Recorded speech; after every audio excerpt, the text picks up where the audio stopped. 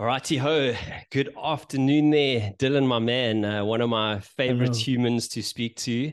Uh, welcome back to the Ridiculously Human podcast, bud. Thanks, buddy. You you made me wait a long time. You made me wait a long time. The- Only like three years. oh, classic. I mean, it's it's quite funny actually. I mean, I say your name Dylan, but people might actually, you know, not know that is, is actually a real name. They might know you better as as Tuggy, or or am I the only one that uh, that knows you as Tuggy? But buddy, you're the only one that calls me tugboat. It's the only one that Uh, was willing to take on the name. You know, the same as the same as for people listening. I call him Sparkles. It's proprietary. No one else is allowed to call you that, but Sparkles, because you bring sparkles, man. You bring positive sparkles into into our lives. Oh well, but yeah. thank you. I, I appreciate that. And uh, and and tugboats, we we have our reasons for tugboats, but it's because you're such a flippant trooper, bud, and and you you just sort of don't stop going. So so uh, That's, what we're going to uh, steer. That's the that's story that we- we're sticking to. exactly. Classic, my man. So, but you you are hundredth guest actually, and that was uh, Okay. back in Feb 2020, and um, yeah, here we are, April 23, which is crazy over three years ago. Wasn't it 2019? I think it was 2019, dude. Was it? Cheapers. yeah, that, well, that was the year that I was. That was the year that I was in hospital. So it was 2019, I think, actually. Yeah, so four we- years. Sheepers. Okay, cool. That's a long time then, bud. Um, Yeah. So, so yeah, lots obviously, obviously happened since then, man. And um, you know, now you're you're in much sort of better health than than you were then. You were going through quite a rough patch. Um, and I think um, I think you you've really sort of focused a lot on on self care over the last few years. How's that kind of looked for you? Yeah, I mean, I suppose it looks different for everybody. Um, for me, it was. Um, it's a bit of a complicated thing. This we, I mean, we spoke about on that on that hundredth episode, and and actually, when we did that episode, I remember I still wasn't like hundred percent mentally. I was a little bit out of it and stuff. I think I remember like breaking out into a sweat halfway through the conversation, but um, yeah, it, it, you know the, the the condition that I have, TTP, which is um for people listening, it's a it's a blood disorder. Your your blood basically doesn't clot. Um, it can be fatal if if not treated. Um, and I hadn't had any issues for a long, long time, but also. I, I, I do believe still today that it was um, also a, you know it was a it was a good 12 years that I had no sort of relapses or anything and I do believe that the relapse was it because of an accumulation of not looking after myself in terms of how I manage my stress was the biggest part. Um, and you know, and then and then like what I've everything that I've read um since about this condition and stuff, it's it's all based on um how you manage stress. So so not putting your body under any stress um from a mental perspective, emotionally, and then obviously physically. So um tried to focus the last sort of three four years on on that and and just being able to from a from a work perspective and, and just daily life perspective handling stress and then physically as well you know like just trying to keep the weight down trying to make sure that i'm not boozing it up too much um being careful what i put in my body uh, that kind of thing. You know the more and more you read about you know these bacterial infections and stuff which was one of the other issues that happened when i was in hospital um, all of that stuff can, is is aggravated by stress that you cause in your that that can happen in your body. And and so yeah so the last few years has been a lot about that. Um already in that stint in hospital because it was it was almost half a year that I was in hospital it was five months. Um added then was when you guys dropped the 100th episode I was back in hospital um with knee with knee issues and stuff. And and um and yeah I mean even then I was starting to kind of just get into meditation, breathing exercises, that kind of stuff. Um, and just have kind of carried on trying to make that a habit um, of being able to to mostly manage stress and and stress comes in all forms as you know it comes in a physical physical way the way you treat your body but how you manage day-to-day life how you manage work stresses at work the job that i'm in is quite a stressful job um, so it's all about so so yeah the last few years has just been about managing that and, and keeping that under wraps and listening to my body listening to people tell me when i'm not looking good listening to people tell me when i'm my eyes are looking a bit hazier than what they should do and and and uh, and just trying to take care um, from that perspective. Um, I, I love this life that I have. I love my family. I want to be around for a long time. I want to see my kids get old and and get married, and I want to be a granddad at one point. It's a long way down the road, but you know all these kind of things. You want to be around for that. So so yeah, uh, basically in a nutshell, um, just been managing how how to manage stress and, and how to take care of of those different you know facets of of managing stress physically emotionally mentally um all of the above. Yeah that's awesome. Man i mean you, you're looking literally bad like you know like a million times healthier. You're you just you the, the life is in your face you know. You could you could see when we were chatted last time uh, you were like yeah you'd been through through the ringer basically you know and um, yeah i don't yeah, I, I, don't think yeah. i could I, I, think i couldn't frown at that time. I don't think i it looked like i had botox. Uh, still we still laugh about it now but there was a stage where like my forehead wouldn't move. You know, now it's probably too wrinkly than what I would like, but uh, it, it wouldn't move like I didn't have any like expression in my face. When you saw me that time at the house, uh, when you and Marissa came for lunch that time, I mean, I was I was thin, but I was yes, I was uh, uh I was just like this, basically this, you know, flopping piece of flesh, and uh, and yeah, I just needed to get back and a lot of a lot of physical therapy, a lot of mental therapy, a lot of um, dealing with the um, you know they, they talk about P, ptsd after things like this and um, uh, dealing with a lot of those things. There was a time when um, if i heard a, a machine beeping i would almost i would st- straight away start to get quite anxious because i would remember the machines in hospital um, and stuff like that. And and yeah i mean since then last year so 2022 i was i was back in hospital and i was there for about another two months on and off but it was like it was okay because I felt a lot more prepared for it. Like I felt a lot mentally, I was I was a lot more prepared for what it meant and what I needed to do just to stay on top of things and and and manage that from from a from a from a mental and an emotional point of view. Um, so yeah, feeling feeling much better, obviously, than what I did back then, and and uh, it's good. It's good to know that uh, that you see it as well. You know. Yeah, for sure, bud. And um, yeah, man, it's uh, it's really good to to have you back, and, I, I'm super thankful for that. But uh, actually, the the last three years of uh, sort of being on a podcast uh, hiatus, you were really instrumental in um, egging me on, should we say, at like getting going again. But so I just want to say, like, thank you so much for that. You know, the, the, the one of the big reasons that this is back is because I had you and um, of course your your son Benji as well. I didn't want to let him down. You know the the, the cute little messages you got him yeah. to send me to say Gareth, come on, let's go. I couldn't let the two of you guys down. So so thanks for that, man. Um, just talking a bit about podcasting, uh, you've actually within that time you you've started your own podcast uh, called Portugal: The Simple Life. Uh, can you just speak a little bit about that. Um, like what what what is it about, and and how did it come about actually doing it? Yeah, so so we started it in 2020. It was um, right at the start of all the COVID uh, drama. Let's call it drama for for lack of a better word. Um, you know, everything kind of went into lockdown. Everybody panicked. Um, nobody knew what was going to be happening. Um, yeah, for for more for the um, sort of the uh, the mental side of our of our of our people of our of our colleagues and stuff. We, we closed our offices and stuff. For for real estate that's quite a tough thing to do because you need to be in a car face to face with people to to sell. Um but we'd been thinking about it for a while kind of as a as a spin-off to to some of the marketing stuff that we've already been doing. We wanted it to be genuine. We wanted it to be something that people could really engage with um not just sort of like a gimmicky thing and um and I've always wanted to. I mean, yeah, actually, funny enough, turning the table straight around back on you. One of my big reasons for for wanting to do a podcast was because of you and and Craig and what you guys were doing those years back with um with uh, the ridiculously with the, with this podcast and um and yeah there was a there was a bit of a gap i suppose in in the kind of information now today if you go on to youtube and the internet there's a lot of information about portugal but back then it was still kind of up and coming.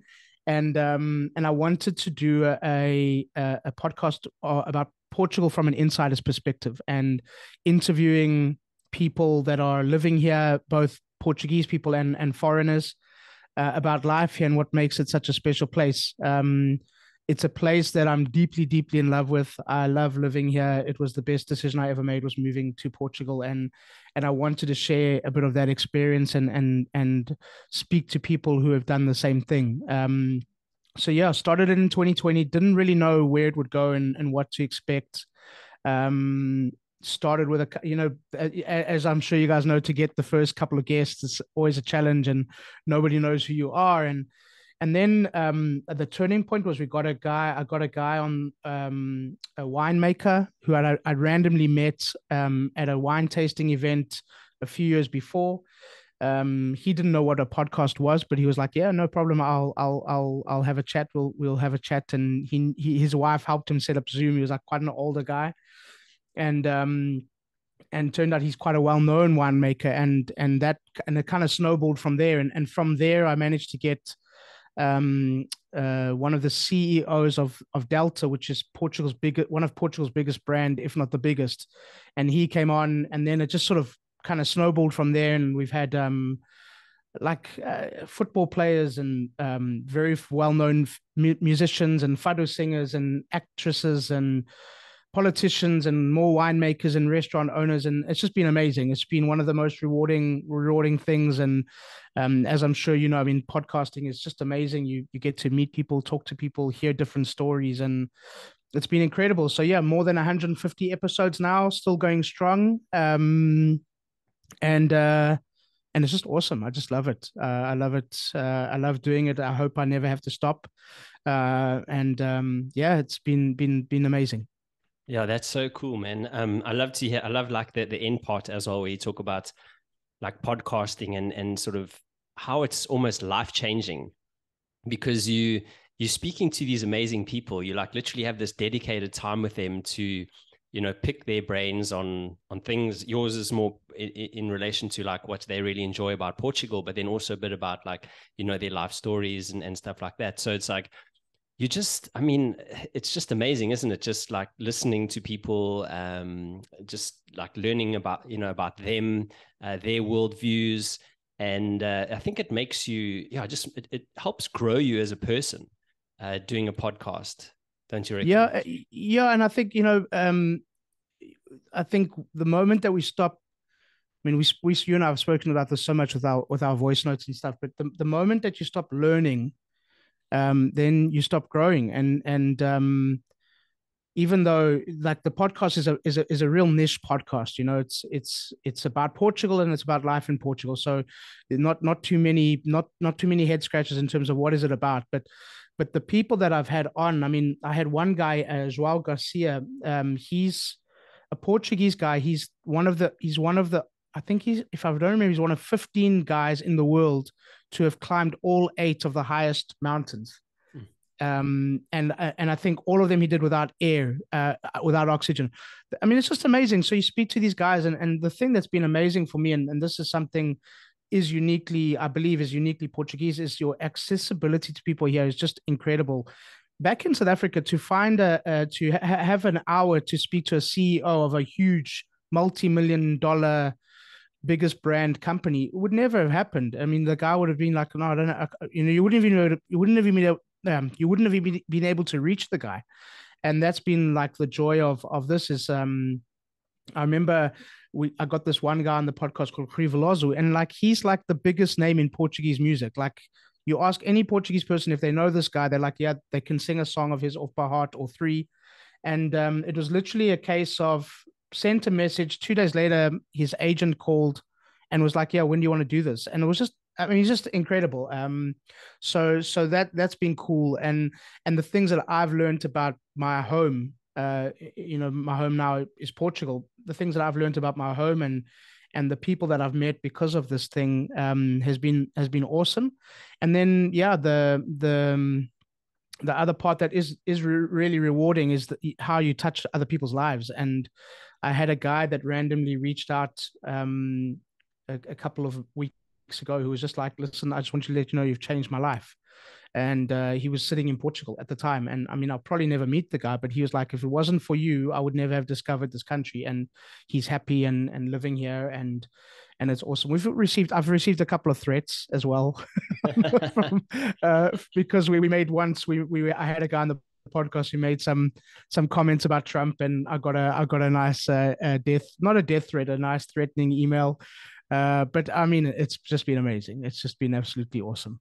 Yeah that's so cool man. Um I, I like what you say there about the guests and stuff and I think one of the cool things about a podcast obviously Portugal sounds like you know they're more um they'll they'll come on the podcast more more than say other countries but like having a podcast uh, allows you the opportunity and gives you permission to invite people to to talk you know and like and and therefore you can sort of reach out to people who are probably going to say no you know a lot of the time but then there might be that one person who says yes you know and that could also change everything for you. And i think that's yeah. what's great about having a podcast is you're like you know what? I've got this podcast. I talk to people about this and that and would you like to come on? And then some of them like yeah flip definitely. So so it's really cool man. And and it's so lucky that you that you change that guy's life as well, you know, and you, that's, I mean, if that's one like amazing win, then, then happy days for doing the yeah. podcast. So, yeah, so yeah, exactly. Tell me a bit about, a bit about Portugal. Obviously you speak about Portugal a lot on the podcast, but what is it that you love about Portugal, bud?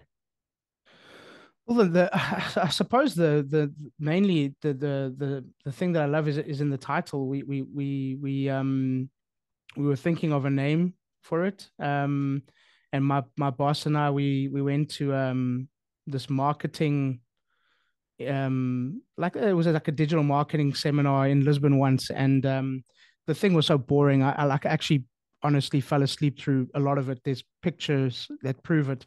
And um but there was this guy who got up and um his name was uh let me try to remember his name now.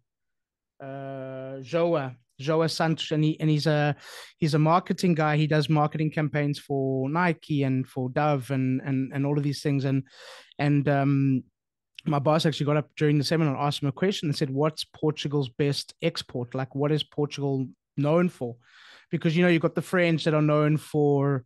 Uh, you know, uh, um, wine and pastries, and you've got the Italians for pizza and, and all of these kind of things. And and what about Portugal? And he says um, Portugal is known for simplicity. It's been perfecting simplicity for generations, and that was kind of like the little light bulb, bulb moment was uh, Portugal, the simple life, and it's really that man. Uh, life is just simple here. Um, you know, obviously you've got you've got places like the Algarve and Lisbon that are a little bit more commercial and a bit more now touristy and things like that. But certainly the the area that that I live in, um, you know, people still say hello. Uh, if you walk into a, a, little cafe and you don't greet everybody in the cafe, they look at you a bit strangely, as opposed to the other way around. If you greet somebody on a on a on a tram in London, they'll look at you like you're a crazy person, you know.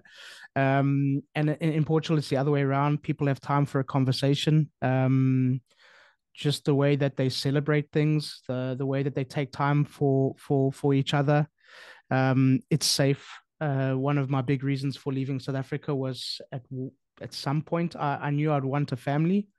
At some point, I knew I'd, I'd want to be married and, and and have kids, and I did not want to raise a family in South Africa. Um, and uh, the life that my kids have here is just incredible. They they're safe. It's calm.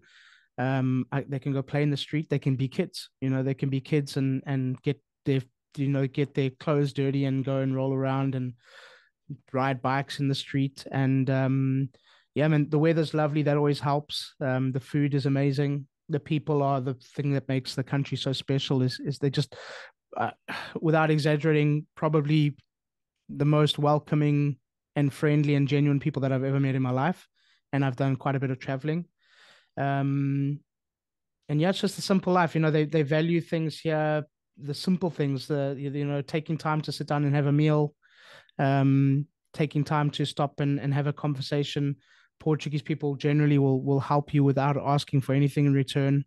Um, that's been my experience since day one, and and yeah, I, it's difficult sometimes to put in words. Um, one of the guests on the podcast said that it's it, it's just the way that the place makes you feel, and and after 14 years of living here, the, this place makes you feel good. It just makes you feel good and happy and and uh, yeah, it's an amazing place. Um, we travel a lot. My wife and I travel a lot throughout the country, and it's the diversity in the country in terms of the way it looks, in terms of the geography, mountains, beaches, valleys, wine vineyards, uh, wine farms, uh, man, just lakes, everything, everything that you can imagine is here in, in a very small sort of geographic area.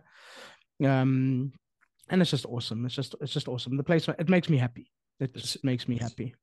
Yeah, man. Some of the the pictures that you sent me in the last year or so of your holiday and stuff, I'm like, cheap cheapers. That's you know, like I said, it's really diverse and just super beautiful and picturesque. And yeah, man, it sounds like a it, it sounds rather idyllic. You know, I think that that sort of simple life and like old traditional values is is such a nice way to live. It's it's kind of sad how many parts of the world seem to have kind of moved away from that and it's everything seems frenetic and digital and online and shouting at each other and judging and you know it's nice to hear yeah. that there's still a place on earth like like what you just described yeah and i mean you know it's it's a strange thing because it, it is a country that's that's that's kind of finding its way in the world today because it, it, you know it's not a th- I think people often kind of the misconception is Portugal is kind of this third world backward country. Um, and in some ways it is in the way that people live in the way that things are done here. And, and that's what makes it so beautiful and pure you know? Um, but it's a country that's also coming terms with globalization and and uh, commercialism. And it's a country that's coming to terms with the fact that for the first time in a long time it's people go to places when they think, where am I going to retire one day? Where am I going to move one day? Um, the amount of American clients that we have now compared to what we used to have five years ago is insane. And it's m- literally thousands of Americans are looking at and going, where should I go if I leave America? And Portugal is on the top of that list. And and and that's, you know, so for the first time ever, Portugal's gone from this country that's kind of flown under the radar and been stuck there in the western corner to now a place that's very much in the mainstream. Um, still more Lisbon than than the, and maybe Porto than a lot of the, the other country, uh, the rest of the country. Um, so it's a place that's also finding its feet, you know, and with with a lot of foreign investment coming in, you always have those other issues that a lot of other European countries have gone through with gentrification and, and these kind of things. but it's a country that's managed to certainly in the time that I've lived here and is it's kept its identity. People are still decent to each other. You know, you and I've come from a we came from a country where everyone was just so super aggressive and angry all the time, uh, and I think that's just prog- progressively worse in South Africa. You take it, you look at the UK, they've just been pissed off since since the B word. You know, it's just been this place where everyone's angry and upset. Um, America, they've got their their animosity with you know between the Republicans and the Democrats, and and here you come here and, and people are just like chilled, you know, and and we've got our political problems, and the the country's got its own issues, and and the, you know there's there's a large part of the country that's very unhappy with with the, with the current uh, government and things. But it's almost like people put that to the side when they're dealing with each other. And that's something really special. Um, again just having the time to to have a conversation having the time to chat, not judging people. Portuguese like their discretion. They they like to leave people to themselves. Um, and so they they appear a lot of the time to be quite standoffish, but they're not. They're just respecting your space and your time. Um, but yeah, it's really the people that make it such a such a such a special place. And then yeah, I mean, like you mentioned, I mean, we've just been to some amazing places that man, castles and palaces and and and wine farms and the Douro Valley and, and places like this are just amazingly beautiful. And you just were like, wow, all of this is in this. You can drive from north to south of Portugal in seven hours.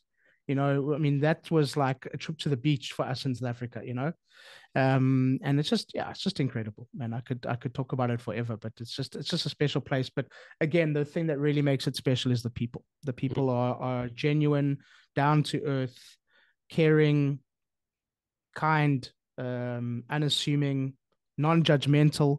Um, you know, you again, you you have this country that's predominantly Catholic, but they're super open in terms of gay marriage, in terms of, you know, uh, religion. They don't shove religion down down your throat. They're not judgmental in any way.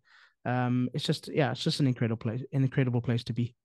Well, but you can uh, definitely see the the salesman in you in you come out. That's for sure. But I'm, I'm it's sold. not it's not hard. It's like the easiest thing to talk about in the world, you know. So so yeah, it's it's um it's uh it's it, it, it, the nice thing about that is when when I, when my clients do ask me about Portugal, I, I'm talking from more than a decade of, of living here and, and, and experiencing it and, and knowing what it really is like and that's always uh, that's always a good place to to to start from this is a, a kind of like open question um, mm. obviously you deal with uh, with clients from around the world kind of all the time uh, you, you also run a sales team what, what, what is like dealing with with people taught you about people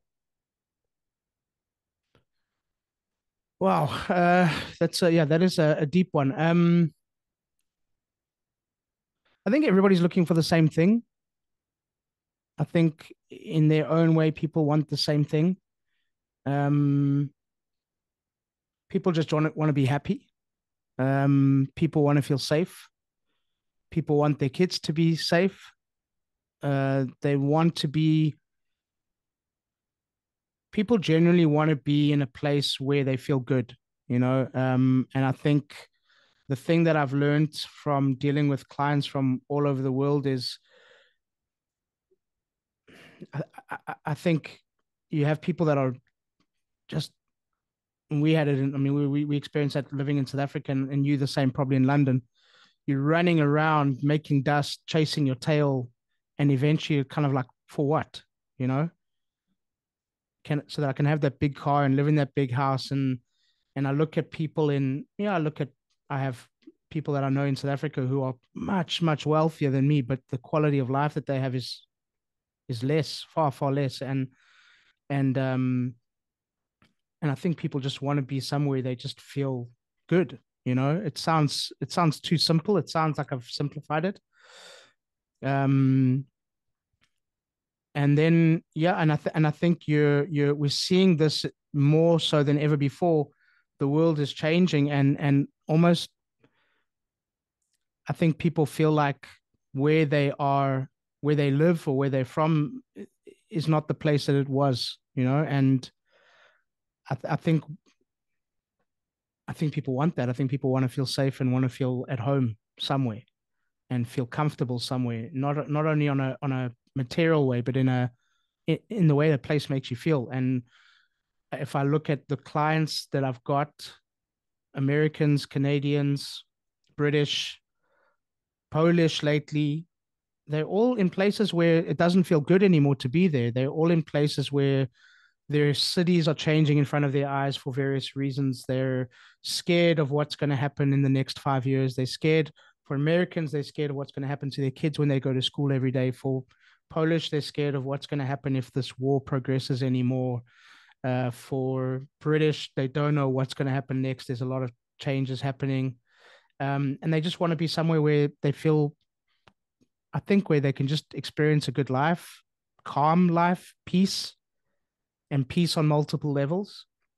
Um, but yeah, the world is changing. Uh, the world is changing, and, and and the world that people knew and their countries and their homes that they knew before aren't what they used to be and and that makes a lot of people sad um but it makes people wanting to act and do something about it which is also which is also interesting I don't know if that answers the question. That was a fantastic answer. Uh, do you find that um, the guys that are sort of investing in Portugal, the the foreigners, they are they kind of like lumping themselves in the same place like say americans i don't know go to lisbon and then the british go down south is there is there some sort of like commonality um it it all i mean this is where it differs from person to person you know you you have people that want to be somewhere you know you have like let's i mean let's just a spade a spade the algarve for example is basically in many parts of the algarve is basically the uk in the sunshine you know, it's it's a lot of guys that have invested down there. It's golf resorts, it's closed resorts. Um, you have a lot of parts of the Algarve that com- go completely quiet in the winter months because everybody's gone back to work or whatever the case is. And um, the Americans of late, there's a big kind of Californian connection with Lisbon and Cascais. Um, and I think those are people that possibly want to have the comforts of English speakers around them or the perception of that comfort, English speakers around them, a bit of familiarity, being able to walk into a British store, being able to walk into a British pub. uh, being able to go to an American social event, these kind of things. But then you have the people that when they move to Portugal, they want it to feel like it's Portugal. They want it to be genuine. They want to be part of the Portuguese community. They want to make friends with their neighbors. They want to learn the language. The the thing in Portugal that's really cool is you don't really need to. Uh, it's a country where everybody pretty much speaks English, or in the worst case scenario, understands English. Um, but of course, you know, when you're moving far away and you first initially acclimatizing, you want to have that familiarity, which I, I, completely understand. But for example, like where we are north of Lisbon on the Silver Coast, it's more authentic Portuguese lifestyle. So you have people that want that as well. Um, so I, suppose it just the the mainstream is you know the the place people know Lisbon, Algarve, or, or whatever the case is. Um, but you do have people that kind of they want to they they want to move to Portugal and, and they want it to feel like Portugal. You know, they wanted to feel like um, the the the idea they had before, where they're part of the the local community, they're in a local village, they're going to the little farmers markets or to the to the traditional cafe and bakery. Um, so yeah, just it it varies from person to person, I guess. Um, for me, when I moved, I I wanted it to feel like Portugal. I wanted to walk out my door and know, hey, I'm I'm in Portugal. I'm not on a golf resort. Um, I'm not in a I'm not in a big expat community. I wanted to be in a place where I could do both. You know, where I could speak Portuguese, learn the language, uh, meet local people as well. Um, and that was that was my my my my idea. But everybody's a little bit different in in what they feel more comfortable with and what they feel um, attracted to but certainly my my clients who I deal with, they they want to be in the real Portugal. They want to be in an authentic Portuguese village or or town. They want to learn. They they are learning the language. Um, they want to have Portuguese neighbors. They don't want to only be surrounded by expats. Um, so so yeah, it depends on on the individual. Yeah, that's cool. I, I mean, I remember all the times I've visited there, well, besides the time I've been on like boys trips down to the Algarve, it it has felt kind of like very very traditional. I one of my one of my good memories when I when we were in um Ericeira was there was this there's this like road that goes behind the beach and there's this truck that that this lady or I don't know family ran and it's actually a bakery and yeah the the the, the, the red trucks Yes, man. Honestly, the the best bread you've ever tasted for like nothing. Like it's like cheap yeah. as chips, you know. yeah. And I mean, yeah. I was like, yes, see, this place is dangerous because it's such good bread, and it's was such a it's such a cool spot. Like you know, like say after spending a few hours on the beach, you you drive past and there's like the smell of fresh bread and you're like oh let's just get a loaf for the afternoon yeah i guess you do that every day you're going to um you're going to sort of um, struggle to keep the yeah, weight. It's dangerous. So we we get, we've got a um, a bread van, you know. So remember, like remember when we grew up in South Africa, you could hear the ice cream truck yes. with that that that side that you know that music playing. It was actually quite creepy that music. Thinking back now, I'm surprised it didn't give us more nightmares. But but in in um in in most villages, uh, certainly in our area, you have a bread van, and you hear the guy hooting from like a couple of blocks away and like everyone comes out with their like 50 cents or their one euro and they buy like a bag full of bread that's just been literally baked that day. Um, and then in some places they even have um, a fish a fish van as well. So you can like just buy some fish off the back of the van. Uh, and there's even a, even in some villages you have a guy that comes uh, comes around um, every couple of months with like this weird like whistle sound. And he's a guy walking his bike and he's there to sharpen knives so people bring their knives out into the road, sharpen their knives on the back of the guy's bike, and take their knives back into the kitchen. It's amazing. So it is. It's it, you. You've got that. Um, you've got that old world feeling, which I I, I love so much, uh, and that simplicity again. Coming back to that simplicity, but then you know, in our village we've got fiber, so we've got like amazingly fast internet. Uh, you know, and all of that kind of thing. So you got all those the modern stuff that you need, but you're in just like a place that feels like it's 20 years removed, you know, and I love that. It's just it's just awesome. Yeah. No, that's super cool. But yes, he, um if you had like milk trucks as well, that would be that would be even more of a bonus, I swear. um, yeah, not not big milk milk drinkers in Portugal. It's difficult to find fresh milk actually. Wow. It's all um, long life milk, so which isn't isn't the healthiest milk around as well, you know. So, so yeah, not they're not big milk drinkers. So yeah, um, no milk, no milk, man. Unfortunately. I'm gonna have to invest in some cars when I get there eventually, but easy, easy. I know a guy. I know a guy. Okay, okay, okay. so, but on on our messages, uh, we speak uh, a lot, like on audio messages and stuff, and and we actually speak a lot about fatherhood. Uh, you uh, you have two step uh, daughters, and you have your own son as well. Um, and yesterday, if I if I'm correct, was like car cleaning day. Uh, how was that for you? Sunday. Like, it's a nice tradition that you guys have.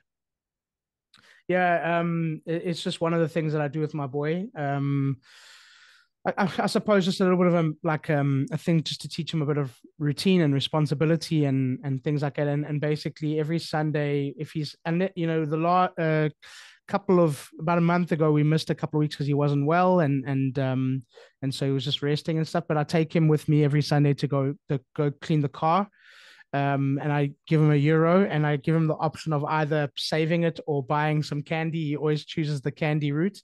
Um, but yeah, I mean, he runs around there with with um, with his little cloth and he polishes the wheels. And now he's upgraded. He says he, now he wants to. Usually after I, I, I spray the car down, I wipe it with um with a with um paper towel to, to to clear the windows. And now he wants to now do that. You know, um so yeah i mean and it's the it's just a joy and and even the the guy who owns the car wash place um whenever he sees benji they stop and they have a little chat and um if he's not there with me he asks me where's my where's my helper and you know what's happening and like one of the weeks he was at a birthday party so he could even come with me to wash the car and the guy was like, "Oh, where's where's where's where's your helper?" I said, "No, he's at a he's at a he's at a party today." He goes, "Oh, okay, okay, that's very nice." and yeah, again, you know, it's just the the beauty of excuse me of day to day life here. You know, having a chat and these little moments and and uh, it's the coolest thing when it's with your with your kid, you know, with your son and um, seeing the world through his eyes and he gets excited. You know, I say, "Come, Benji, time to go wash the car," and he yeah, and he screams and he wants to go and and now um, it's just it's just it's just awesome, you know. So so yeah, it's one of the joys um, that I have, and and one of our little little things that we do, father and son, um, with a little bit of a a side and you know a, an intention there that he learns a bit of responsibility and learns some routines and learns that he has to take care of things and and yeah, I just absolutely love it, man. Uh, so yeah, so yesterday we were there. We, we I upgraded him to to wiping the windows, you know, not just not just the wheels and the lights. So uh, yeah, he loves it. He loves it, and I I love it. I mean, just having him there with me, and it's just awesome. So so yeah. And what what are some of your, I guess, greatest lessons maybe since you become a dad? Oh man, probably probably the biggest one is probably projection um, in the sense that we project a hell of a lot as people, as human beings. You know, we we carry a lot of stuff. Um, if it's stuff that we don't resolve, if it's stuff that we're not aware of, um, you know, I'll I'll I'll sometimes have an outburst with my kids, and um, and literally like when I'm finished, I'm like, shit that had nothing to do with them. That's something that i'm carrying a stress that i'm carrying or i'm worried about a meeting or i'm worried about a client or um and i suppose that's that's kind of what it is. It's something that i'm still it's something that i'm still wanting to be better at and and learn. Um but just being able to take a step back and when you're angry about something to do with your kids and go why am i angry right now? Like is this something that i should be angry about is it something that I should be disciplining them about? Is it something I should be letting go? Is it something that I should be looking at myself in the mirror and going, why are you feeling this way? Um, and, and that's probably been the hugest thing is that is that kind of inflection, you know, that looking at yourself and going, okay, why am I feeling this right now? Um, and yeah, man, because because you're you're I see it with with my girls and I see it with my boy, and your words uh, your words hold so much weight for them, regardless of what age they are, whether they're 4, 5, 12, 18. The stuff that you say in in the moment, in the heat of the moment, the stuff that you say because you're having a shit day, they'll remember that. You know, that will be stuff that they carry, they could potentially carry with them for years, if not the rest of their lives. And and I suppose that's the thing that I've I've I've kind of learned the most. Well, I'm still sorry, put a put a punctuation that I'm still learning is is the how much we project um, our own insecurities, our own stress, our own trauma, our own life experiences onto onto them, and and that's something that I'm I'm super aware of and, and want to be much much better at as a, as a parent. Um, is is that because you yeah man you you're you're holding a life in your hands um and that's quite a scary it's quite a scary thing. Um you're holding a, a personality and a, and a and a fragile mind and a susceptible mind in your in your hands. And that's that's man that scares the shit out of me you know? And and yeah that's something that i really want to be better at. And i think i have. I think i've got better at it. And i think i've got better at at taking a step back sometimes and and kind of just measuring when it's my own baggage um it's an insecure thing to be a parent it's very very scary um you're constantly worried about these kids at the same time you're constantly worried that you're being you don't want you don't want I don't want to. I don't like. I, I'm always scared that the stuff you do for your kids gets taken for granted. You know, and and then I'm kind of like, why am I worried about that? Am I worried about that because of I want to be validated, or am I worried about that because I want them to be grateful human beings and grateful for the things that they have? And probably it's a bit of both. You know, if if if I'm being brutally honest, and and it's about doing what's right for them in the good and the bad. You know, like those life lessons that they that they need to learn but picking the right time um, picking the right moment sometimes just altering your tone of voice yeah man it's just uh it's a different it's a different kettle of fish you know marriage is one thing but being a parent as well when you when you are you know because your wife can just tell you you're being a dick you know and uh shut your face and your kid can't because you won't allow that as well you know so um yeah, I suppose that's the biggest thing is is is why am I feeling this way right now? Why am I reacting this way right now? Is it my own stuff or is it something that I should be reacting to, something that I should be managing? I mean, you and I've spoken to before. You want you want your kids to be resilient. You want to give them a great life, but you also want them to be resilient and to know what to do when things get tough and and have the backbone to to kind of find their way when things are, are rough because you're not going to be around forever um, so yeah, probably that's the biggest one, man. Is is projecting and when when when am I projecting and when am I when am I reacting to something that I should be reacting to? I like that so much, and I think that's probably one of almost the most important things for parents to be aware of. I read this amazing book uh, before we had Maya called The Conscious Parent by this lady called Dr. Shefali Tsabary. I think that's how you pronounce it and uh, her book she's like she's a psychologist and she's obviously had tons and tons and tons of patients and she said in the book like her overarching thing is like your child will teach you more about yourself and be your your teacher more than you are actually its teacher or their teacher and it's like quite a heavy, controversial almost thing to say, you know, that they're going to teach you more than you can kind of teach them. Yeah. And one of the things she specifically speaks about is your kid is going to bring out your shadows, right? So things that you don't really know, like you were saying now, you know, effectively your projection is this actually me? Is this my issue, or is this something the kids kids done? And and most of the time, it's probably your issue, you know. So if you are conscious to that, and you're like, oh, whoa, what what is they just exposed that I maybe haven't dealt with in my life, then it's going to allow you to grow a hell of a lot as a, as a person, you know, and of course as a parent and just be a better parent. And um, I think for me, that was like a such a great book to read and such a, a great thing to be aware of. Um, so that I'm I am conscious when when certain things come up and and yeah, it's really really helped me. I think just be be more aware uh, of, of, how I am and how I react uh, as a as a parent. So yeah, yeah, for sure. I mean, we're not. We're, I'm I'm I'm not uh, condoning people have kids so that they can sort out their issues, you know. But but uh, yeah, hundred percent, man. Um, I think the the the I think the the reality is, and again, still learning and you when you get into a a real relationship with somebody that's supposed to be for life and when you have kids it's not about you anymore you know it's about them and it's about doing what's right for them. It's about um kind of getting out of your head which is is tough for people that think a lot and feel a lot.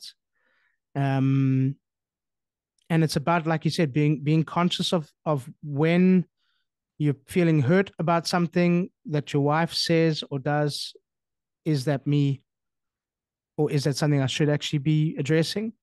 And then with your kids it's yeah i mean it's even it's even possibly more complicated because i mean like uh, the other day i mean benji my belly was looking a bit big after a bit of traveling and and he was like dad do you have a do you have a do you have a baby in your tummy and and then he was and i'm like what do you mean he's like because your tummy's fat and I mean, he's five. You know, he's turning five. So, so he's not saying it the way that somebody would say it at my age to be mean, or whatever the case is. But my initial reaction was, I got so, you know, that's offensive. And then, and then I was like, he's he's five. Like, I mean, he doesn't know even he doesn't even know what he's saying.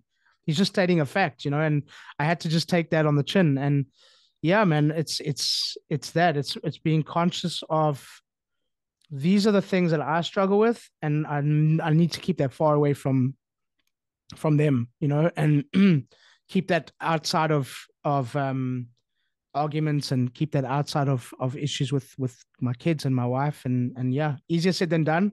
We were speaking of blind spots the other day, you know, and and yeah, that's uh, one of the one of the challenges, and and and one of the things that just makes it such a beautiful thing is it, it, marriage and and and raising a family. You know, it's it's being conscious and and realizing that you're flawed and and man, um, since having kids and and having you know stepdaughters and and my girls and um, you realize what an amazing you realize stuff that your your parents did for you and you know you I think back now to how my parents were during certain parts of their lives and thinking they were going through that.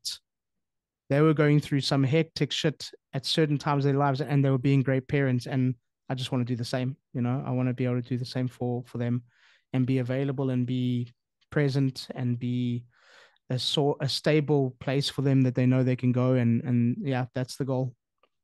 I think that's also another great lesson and um you know like to to kind of look back you know, and be appreciative of of your own folks, you know, because at the end of the day, like we're all trying to figure this out, you know, we're all kind of having this dance with life yeah. and uh, we've all got our issues and struggles and stresses and and whatnot. And yeah, like they're only human, you know, and and so are we. And uh, I think yeah. I think it's important to kind of almost like go, okay, cool. Well, maybe I was a bit harsh on my parents, you know, my, my even if it wasn't like sort of directly, maybe just with your own thoughts sometimes, you know, like, oh, maybe I should just kind of like take a step back on on some of those thoughts because they were just struggling with their own shit as they were as I am now. And um, I think it's a good thing to kind of really look back at at, at, yeah. at that sort of stuff. Um, you mentioned also in our messages and stuff that uh, Benji has taught you to be more curious, and you you even like read a book I think recently on on curiosity. So how has how has that been for you? You know like how do you how do you incorporate your curiosity into being a father? Yeah i think it's just asking why more often. Um actually benjamin and and and then diane my wife diane she's also she's one of the most curious people that i know um you know she won't just ask the one question she'll ask five to ten follow up questions. You know, you you you you you kind of like you you she'll say, um, how does that thing work? And you say, well, it works like this. Well, why does it work like that? You know, well, because it always has, but can it be something different? And that for me is, I mean, I'm I'm I'm a curious person. I, I think it's I think it's something that you lose along the way as an as an adult. Um, I think I was a lot more curious. I think I took a lot more time as a as a as a as a kid to kind of figure out how something works. I don't know if it's just laziness or we feel like we don't have the time or um, but certainly like his the way that he asks questions sometimes just in their simplicity is just so beautiful, you know, and um, he he has this thing at the moment where he, he loves listening to um, Lady Gaga, uh, the song "Bad Romance," and we we you know we're we're driving the other day. And I always have to play the song on loop for him, and one of the parts she sings, "I don't want to be friends," and he goes, "Hey, Dada, who doesn't she want to be friends with?" and I'm like, uh, "Yeah, I, I, think it was like, uh, and you know, it's just someone that, it maybe it's a naughty." Because we that's what we call like a bad person is is a naughty, you know, and and he goes, yeah, no, I'm sure it was a naughty. It was a naughty. And and like even like the one day, uh, you know, he loves his superhero movies, and he's like, so where are all, where are all the naughties? You know, and uh, I'm like, I don't know where they are, Benji. And he goes, and he obviously asked somebody else in the family. I don't want to throw this family member under the bus, but he had asked a, a family member where are all the naughties, and he obviously been asking this question a long time, and they eventually said that they're in Russia. so, he says, "Yeah, all the naughties are in Russia." So I said, "No, no, no, no." And then the like the next day, this Russian kid comes gets enrolled in his school. so it's funny how that works out. But yeah, you know, just the way he asks questions, the way that he looks at the world. Um, I, you know, I even said to my pops uh, two days ago, like if I can see, if I could see the world the way he does through his eyes, man, it's just such a much happier and amazing place, you know, because um, he'll walk out somewhere and it'll just be like a place that you probably just take for granted, you know, and he'll go, wow, wow, look at that wall, you know, and you're just like, it's a wall, but but he sees it with this this this amazement and this wonder and and yeah, definitely he's helped me to be more of a curious person. Um uh he'll sit and he'll play with something for ages just like fiddling with it and and yeah we lose that hey we lose that as as adults with our with our rush that we we probably create for ourselves. Um, but definitely him and and and his mom um, have fostered a, a, bit more curiosity in me and just how things work and read a little bit more about how that works and and try to f- figure out a different angle or a different solution. And and then again the other thing that's helped with the curiosity has been the podcast is asking questions. And it's the best gift that we have sometimes is just to be able to ask somebody why? Why did you do that? or how did that happen? And that's it's just it's incredible.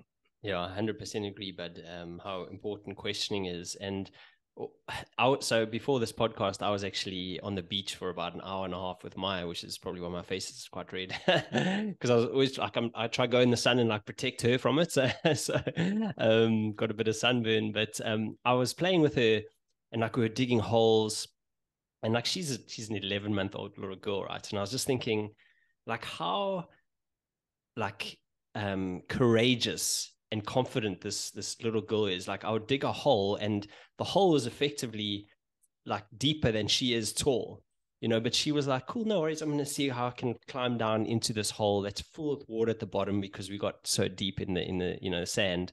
And i was just like you couldn't really imagine like many humans doing that you know like me like i'm not necessarily going to climb down a hole that's as tall as me you know what i mean? And like but she just did it didn't even think about it sort of thing you know so i was like you know kids they can teach you like what curiosity confidence courage and just being carefree and i think it's um it's yeah. a really a really important thing for us to to sort of be conscious of and, and allow our kids yeah. to actually teach us yeah uh, I, I, was, I, yeah. I, I remember um uh we went one of our first holidays we went um on as a family when I met um Diane before Benjamin was born actually and we went to the Azores and um, uh, our our middle daughter Freddie.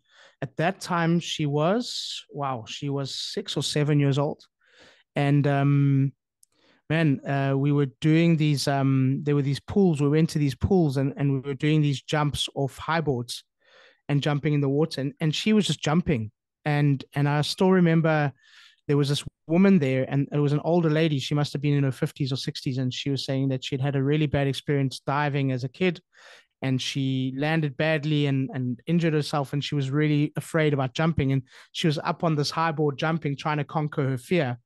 But she'd been up there for like 30 minutes uh, 40 minutes and then freddie just walked past her greeted her and jumped and she was just like oh hell no and then she jumped.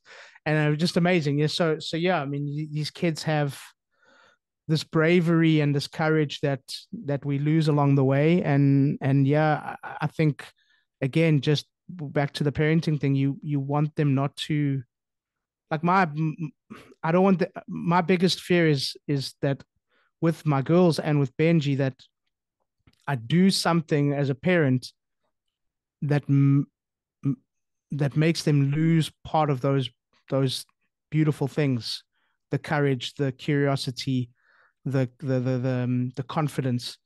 Um, and that's that's probably my biggest fear as a parent. Like i want him to remain and i want him to see the world the way that he sees it forever. I know that probably won't happen and, and it's not only in my control. I want my girls to be confident. I want my girls to to be fearless. Um, and i'm petrified that i do something that that will make them lose that you know? And uh, yeah that's why parenting is so scary. It's not for everybody it's not for everybody. Yeah yes yeah that, that is something to to really sort of be be conscious of hey um yeah i think society ultimately sort of seems to squeeze a lot of that out of you yeah. but um but if we can raise kids that um that have those sort of traits uh then then we have a better chance so of, of them sort of staying that way. Talking about like you know what you do want to teach your kids like being a leader in your family like what what does leadership in in your family to you look like and and feel like what do, what do you actually do to to show them that uh, what leadership is like?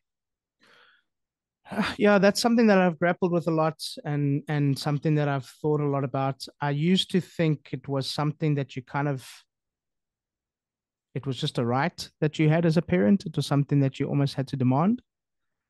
And I, I don't think that way anymore. You know, I think I'm also I grew up in a thing where, you know, you you weren't spoken and you didn't speak unless spoken to you. You uh, you had respect for your elders. You let you let um, old people eat first uh, at the table. You know, you um, these kind of things, and I, and I think you you kind of and and and, and I think I, I came in thinking, okay, that's something that must be demanded or, or given straight away. And and I think our situation is a bit unique because it, it, my two daughters aren't mine. They, I, you know, they, they're not they're not from me.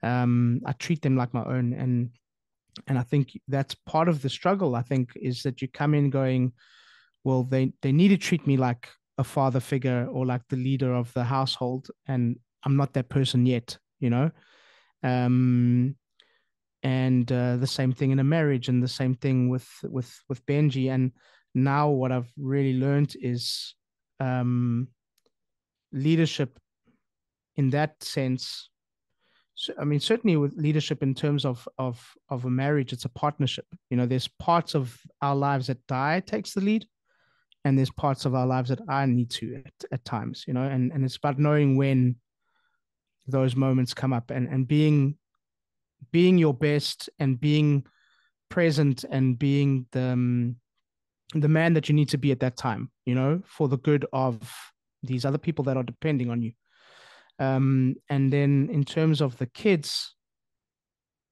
again it's just being the best man that you can be for them you know it's it's those things that they need to see in a parent or in a dad or is someone that's got their shit together someone that works hard, someone that's a good human being, someone that loves their mother. Um,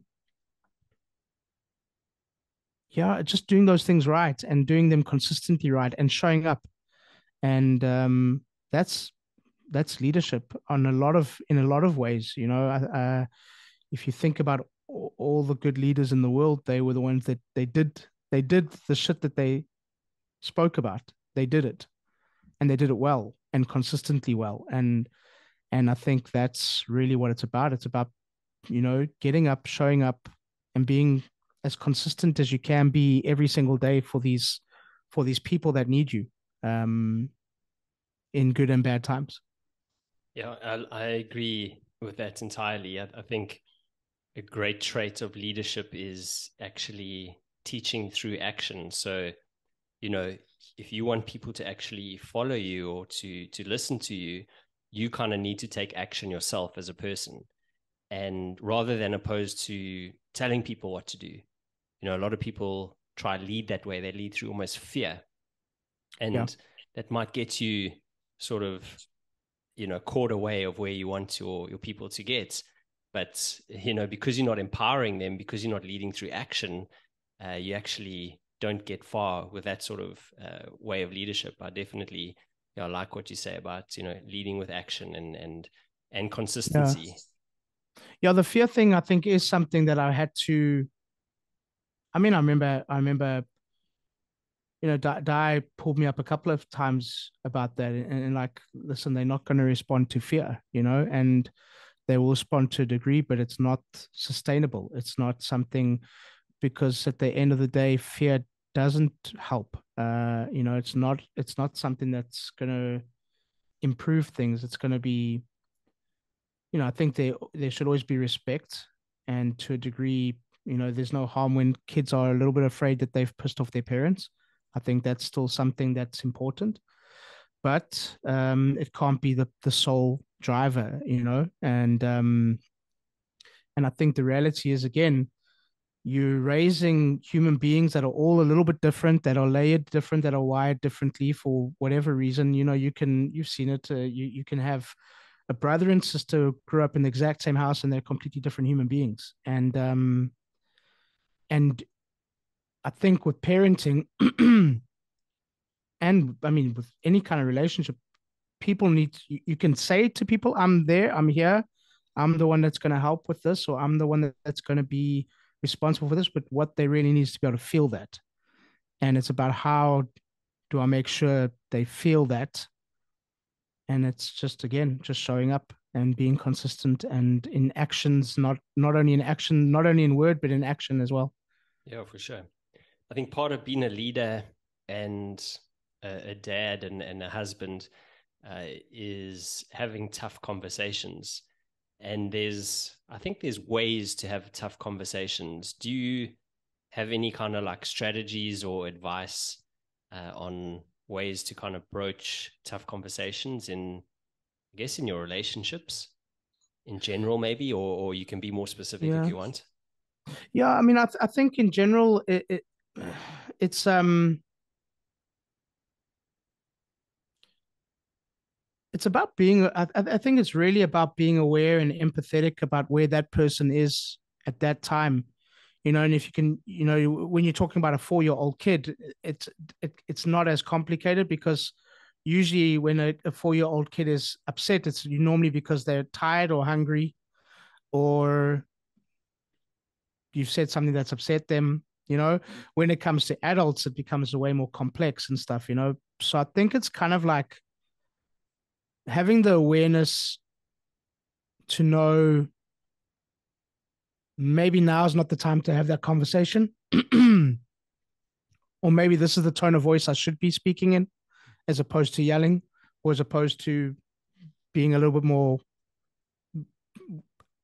aggressive is not the right word but yeah maybe aggressive um, I think really it boils down to being aware of where that person is at at that very moment, what's brought them to this point. Um, if it's a teenage daughter, why is she in that position today? Why is she in that mood today?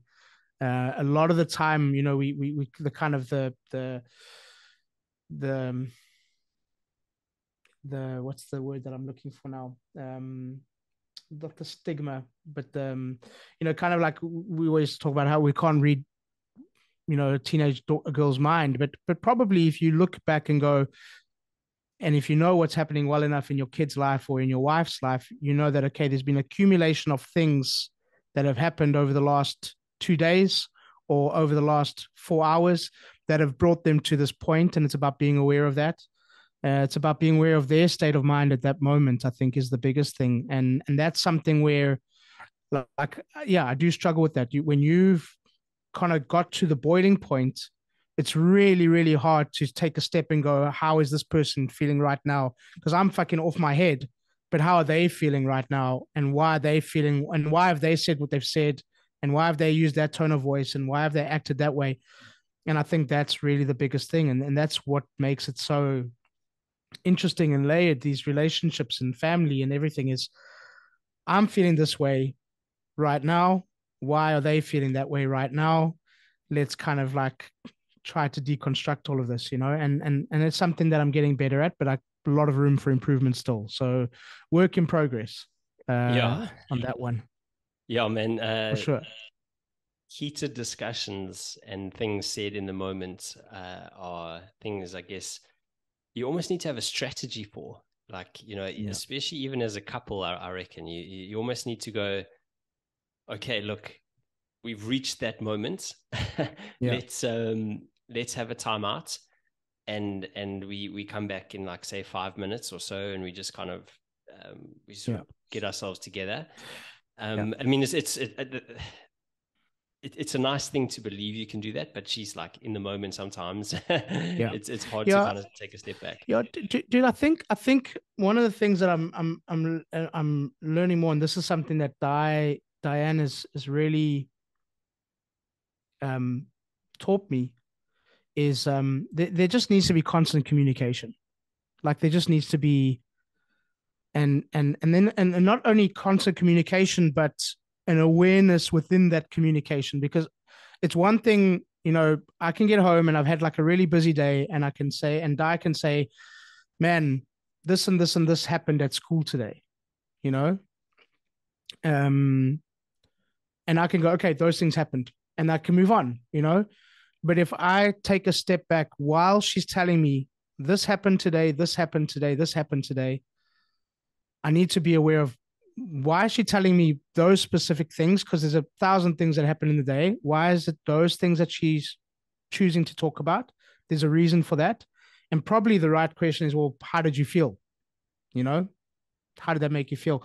Because I think what happens so much in modern day relationships where it's um you're at work all day, then it's uh, getting home, getting the kids dinner, then it's um, getting the kids ready for bed, then it's phones, then it's well instead of let instead of sitting down and having a chat, let's rather put on something on television, and we we've lost that communication. We've lost how to talk to each other, and I find with myself, um, it's when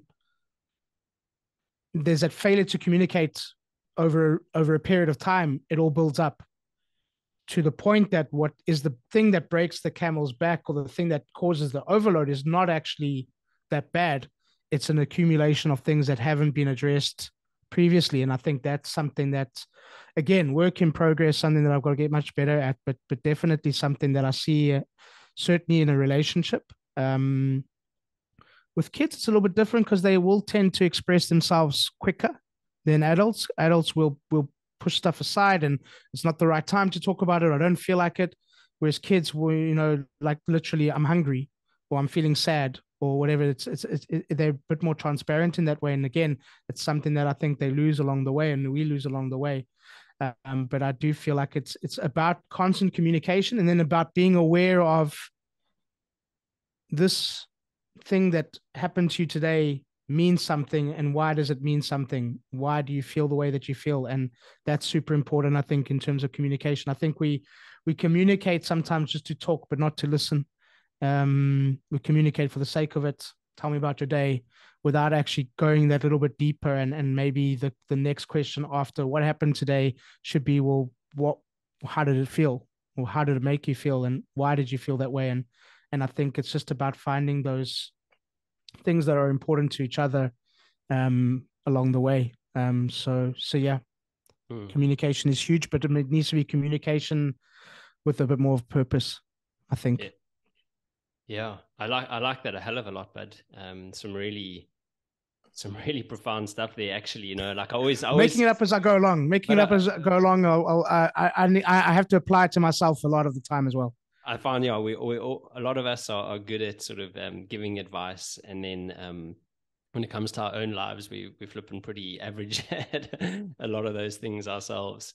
Um, but I think that's kind of like a, a human trait, you know. We when this is what we spoke about this week was just our own blind spots and yeah. how sometimes it's like glaringly obvious to somebody else, like I guess what our issue is, and to us, we're like, no, I'm fucking perfect, you know, don't yeah. you, you sort of thing. So, um, so yeah, but yeah. anyway, just, just just kind of moving on a little bit. Um, mm. we recently did like a fitness program together for for three months, which was which was super super awesome, and the it, so it was basically like a, just just four or five of us on on WhatsApp, and we had like exercises we would do each week, and we were all based in Brazil, and you were the only guy in in Portugal, so you were a few hours ahead of us, and like each morning I would wake up and you would have you'd be you would have like posted okay cool I've done my exercise and my and I was like wow you like are super kind of motivated and um I guess self motivated as well.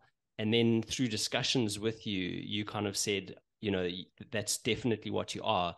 But when you kind of have something to do you almost have like ocd tendencies uh, to stick at it and get things done. Has that kind of like always been the case? Is it or is it something kind of which you've kind of like grown into? And do you see it as a good thing or bad thing? Yeah i mean i wouldn't i wouldn't say i wouldn't say i'm ocd um about that kind of stuff. I think I've always been quite a stubborn guy, um, in good ways and bad ways. Um, definitely being stubborn is what kept me alive uh, when I was when I when I was on the brink at times with my health. Um, I'm also kind of like I don't like leaving things unfinished. I suppose. Um, I don't want to. I don't like letting people down. So for me, that group mentality where you know you're in a team, and if I don't do it, you know, um, that was important to me as well. Um, but definitely, yeah, if I do something, I want to do it. I want to do it right, and I want to give it my all. I think there's a big difference between doing it perfectly and doing it with giving it your all because sometimes we give our all at something and it's still not perfect um, but I love that, you know, that kind of that challenge. You got to get up and do this on this day. You got to do this the next day. Uh, the the the team aspect of it that you're doing this together, and the little bit of competitiveness thrown in there of, hey, like I want to get this done. You know, uh, I think that was that was very cool. Um, but yeah, definitely something that I've cultivated. I think I I the I, th- I think if I look back to my younger years, there was probably I was probably way less disciplined with certain things. Certainly from a, a professional perspective, um, certainly looking after myself. Um, I was less dis- disciplined. I can be way better again. Um, it's something that I that like it's something that we spoke about the other day. Like I want to create habits um, where I'm doing something regularly that is better for that part of my life, uh, this in this in this way physically. Um, but yeah, it's something that I've had to cultivate, I think, over time. Um, and again, something that I've learned with along the way with with certain people, um, my pops, um, my my my wife. You know, they show you how to be committed. They show you how to be prepared. They show you how to do something the way it should be done. Um, and that's important. And and that's something I definitely want to pass on to my kids is is doing things correctly and and discipline and being self-motivated and and those kind of things. So yeah, that's definitely something that I've probably cultivated along the way. Um, I mean, there was always there's always been something inside me which wherever that came from that's a good question of of being driven and not giving up um, you know, I remember, you know, I wasn't the best rugby player. Um, I wasn't the biggest guy in the field. I wasn't the fastest guy in the field, but I managed to always stick it out with some of the best players. And there was that kind of never quit mentality that I that I've always had. Um, but certainly from a point of view of being disciplined and self motivated, that's stuff that I've had to cultivate along the way for sure. Mm. Yeah, that's super cool, man. Uh, some of the things that, that we've been speaking about recently that, that I like you know, I feel like I've got to know you so well, like in the last kind of three years Me through too. through audio message, and it's been it's actually been like a really special special thing. It's almost like modern age pen pals. so yeah, yeah, it's it, has totally. been it's been super cool, and I've really like grown to to love the sort of way you think, and and also you know been really interested in the things that you do and that you and that you've been interested in, and one of the things that I've found out that we both really enjoy is actually reading. And I just wanted to find out is there like say two books or or maybe two people but but you can choose that have really kind of influenced your kind of way of seeing the world and and perhaps perhaps altered the way you see the world um, and and the way you live? In terms of books? In terms of books yeah. Yeah um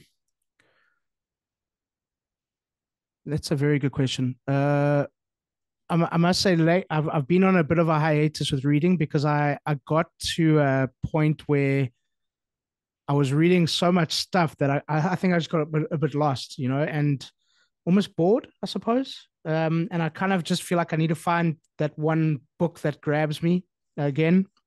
Um, I suppose the one book that that I always remember and, and I read it at a time in my life that I really needed to was Ego is the Enemy with uh with Ryan Holiday. Uh, Ryan Holiday, right? I think. Yep. Yeah. yeah. That was amazing because you you always kind of think of ego as pride. And um and that book takes you a lot deeper into what ego is and, and how much we bring ego into a lot of things. And ego is not just pride, it's also insecurity, it's also baggage, it's also putting our own spin on things, um, reacting the way that we react because of our own our own uh, ourselves as opposed to situations as opposed to the other person as opposed to the circumstances um, so ego in the ego, ego um, is the enemy was huge for me, and probably I should read it again just to get back on the the reading um, bike. Um, that was a that was a massive one. Um, and in terms of genre, I've always been drawn to um, sports books. Actually, I love I love reading about you know former captains. Uh, Victor Matfield's book was amazing. Jake White's book was incredible. Um, just about how I guess they they that you know the triumph in in the face of adversity, but also their mentality in in in, in why they were able to succeed at certain things. Um, I've read a couple of American football books and stuff like that as well, and and that stuff's amazing. I I love um, books that that go into psychology, into we do this because of this, what we think this way because of certain things, um, how to alter that, how to alter um, long held beliefs or, or ways of thinking that have held you back. I think that's stuff that's so uh, interesting. Um, so definitely ego is the enemy, and then and then that kind of genre of you know leadership and sports and and um, that's been yeah that's been amazing for me. But again, I mean, one book that I read randomly a while ago was called The History. I think it was called History Men, and it was about um, a, a, group of a team that was put together after the uh, the war with Hitler, because what Hitler had been doing was um, systematically removing all of the art out of Europe, and he was his idea was to build his whole like this whole artistic district uh, around where he lived, and he was literally stealing all of the art from Austria and France, and and this team of of a mixture of guys, Americans, British, were were were were um, sanctioned to go and retrieve the art, and it was just awesome like just a, such an interesting interesting story. So i like a bit of history as well. I like a bit of um uh i like a bit of uh, um uh real life events and stuff like that so yeah i do like a good documentary i mean a good uh, autobiography that's for sure um love that kind of stuff as well I think uh, the book is called Monuments Men. Uh, Monuments Men, that's it. Yeah, yeah that's actually, the one. You told me about it actually, and I've, there's I've a film. There's a film about it, but the film doesn't do it justice as as normal. Um, the book is is really good. Of Monuments course. Men, yeah. Yeah, I, yeah, yeah. I, I was also like a huge autobiography autobiography fan for a long, long time, and um, yeah, I mean, geez, I've read a lot of different guys' autobiographies and when I when I kind of almost think back on it now, and then I think about the podcast, I'm like, wow, I've almost like always been interested in people's stories, you know. And yeah, um, yeah I think autobiographies are fantastic books. So, but uh, just to kind of um, wrap this up, then, uh, mm. what, what are you what are you currently working on? Like, what is exciting you most about life? And then, where can people get in touch with you if they if they want to kind of reach out? Yeah, um, it's a very good question. Uh, yeah, the the podcast um, certainly people can listen in on that. Uh, Portugal: The Simple Life comes out every Monday. um, on all the the different channels. Um, yeah, I mean, uh, you know, we I, I think it's just living. Um,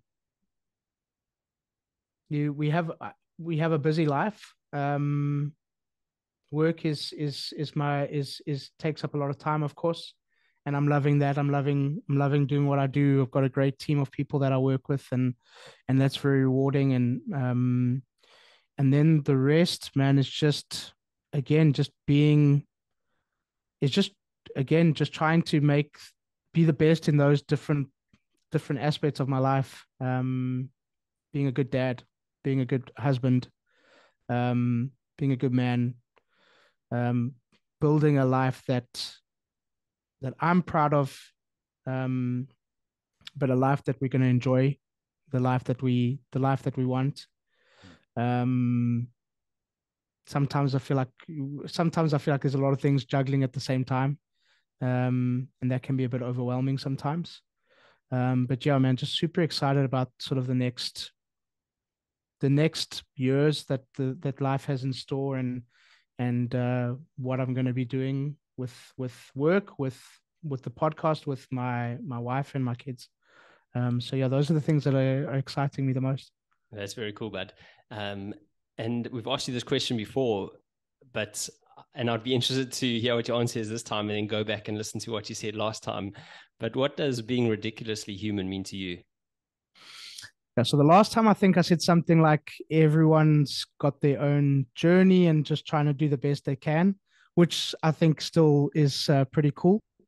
Um, to steal a to steal a a, a, a much used um, kind of phrase or idea from the movie Shrek. Um, Shrek always talks about that he has uh, he had lots of layers, and the donkey says to him, um, "Why is it because you stink?" Uh, no, no. Shrek says I'm like I'm like an onion. Ogres are like onions because, and the donkey says why? Because they stink. No, no. Why? Because they make you cry. no, no. But because they have layers, and I and I think, and it's stuff that you and I have talked about a lot, and and in, you know, just in in my relationship and in how things have developed in my life. Like we are so layered. Everybody is so layered, in terms of the the things that have happened uh, there's so many different layers to each person based on how they're being brought up, based on what's happened in their lives, circumstances, events, traumas. Um, and I think that's what makes us ridiculously human. Is and then how do we kind of piece together those layers, and how do we make sure that the layers that are there are are, are I suppose the are are all contributing to the best possible person that we can be um, so I think that's what makes us ridiculously human because we're ridiculously layered. That's very true indeed. And I think sometimes we also need to try and remove those layers because some of them are there by, you know, I guess by design, yeah. but also probably they shouldn't be there. So it's a good thing for us to sometimes remove those layers and yeah. Uh, yeah. but I just wanted to say, listen, like, thanks so much for for coming on the show. Thanks again for pleasure, egging man. me on to to get this going again. I, I can't even begin to explain to you how much I've loved speaking to people again, and how much I've realized that I that I've missed it, and it's it really like it's kind of purposeful and and fulfilling. So um, you know, and this conversation is is one of those sort of conversations whereby like I almost have to kind of like sit back and go, yes, see, I've known this oak for such a long time. And, you know, we've enjoyed many great moments together.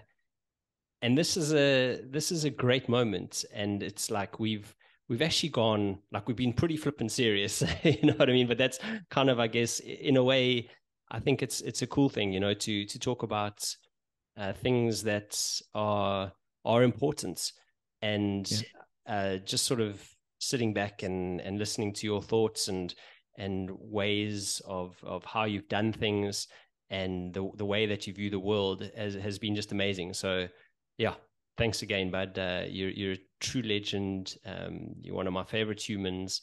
And uh, yeah, just thanks again, buddy. Thanks, buddy. Likewise, and I'm glad that your voice is back on the. You definitely, definitely have a face for podcasts. You know, you're right, but, bud. Especially uh, today.